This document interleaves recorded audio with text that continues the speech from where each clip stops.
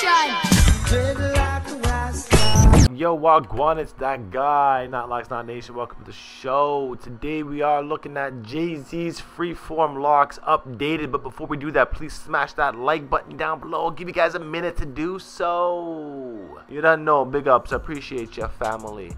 Jay Z's locks freeforming like no tomorrow. They are changing like the trees in the wind seeing what his wicks and congos are looking like. He's got some flats and some congos that resemble resemble very much like fingers and hands. He's got those fingertip dreadlocks going on. This is a true sign of the freeform because these types of locks are not created or manipulated into existence via the salon. So definitely a very unique look that Jay-Z is going on with these days with the freeform lock decision. Looking from the front, we can see that his hair is starting to drop down a little bit now. The length is getting to the point where the weight is having them fall down, but you know, some of them still doing their own thing and standing on end, something like Basquiat. And I have a good feeling that Jay-Z's dreadlocks have been inspired by Basquiat himself. Now, in the beginning stages of his lock journey, we can see he was still rocking hats that let his dreads kind of go crazily outside of his hair. Very unique look. Uh, in the earlier stages, he also did have the dread fro with the bandana quite often. Same kind of look here. But we really see how his locks are changing over the years. And I'm very happy to see Jay-Z at his age able to grow a full set of locks and commit himself to a freeform journey.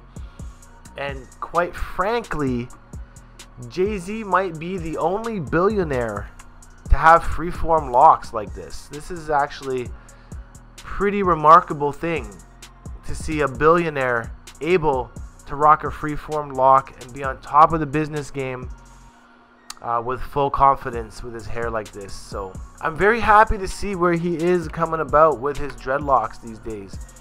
And what I'm noticing is that even though were they congoed up originally at the hand and the finger dread stage, the new growth is locking up to be thinner than the end. You know, just having um, not as wide of a root than at the end. So I'm very intrigued to see where his hair growth goes over the years.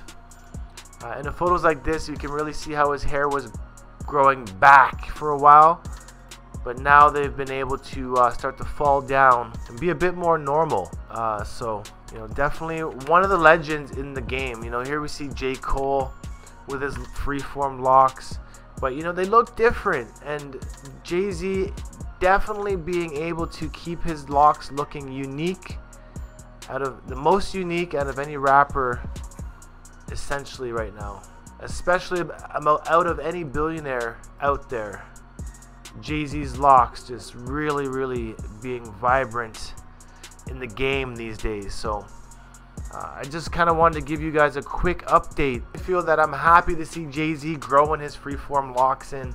And if anybody is interested in realizing how to grow hair like Jay Z, well, let's look at the breakdown of it. Uh, first of all, he's got a Type 4 hair, which is the optimal hairstyle for freeform locks to turn out like this.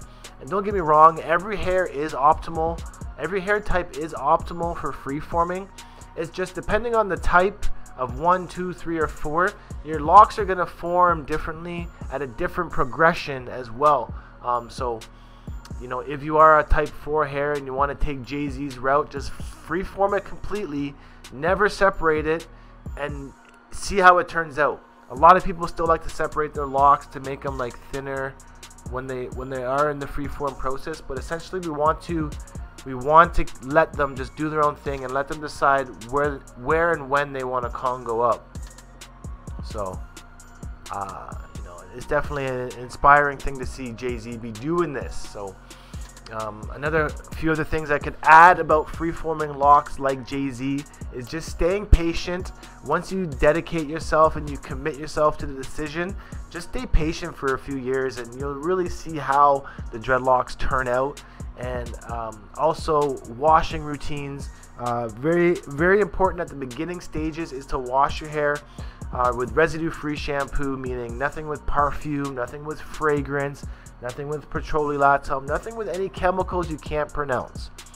Secondly, uh, use cold water when you're rinsing your hair. This helps the freeform process start uh, by binding your hair more together. Thirdly, let your hair air dry as much as possible. Avoid towel rubbing and drying your hair. Um, let it air dry, shake it out to really dry up. Uh, use a blow dryer if you really need to because it might be winter or cold outside. Um, but I always suggest washing your hair in the beginning, shaking them out as much as you can, blow drying a little bit, then air drying for the rest of the day. Uh, you never really want to do this at nighttime and going to bed with your hair wet because this can create mildew if you have buildup in your hair. And lastly is, um, you know, just have fun with it. Walk around with confidence. Don't care about how you look. Don't care about people's opinions. Just own your style, own your crown, and um, you will really progress with that self-love and self-confidence that is to be emitted when having freeform locks. So I'm just going to keep that video at that, and I really hope that you guys might have learned something or grabbed a bit of inspiration from this video. Um, and that's what we're here doing on a daily basis. Daily basis, dread, dread spiring, dreadicating, and dread and dreaducating and dreadicating people to the movement. So I'm happy to help out with you guys. If you have any questions, my email is in the link in, in the description down below, and you guys can email me any questions or DM me.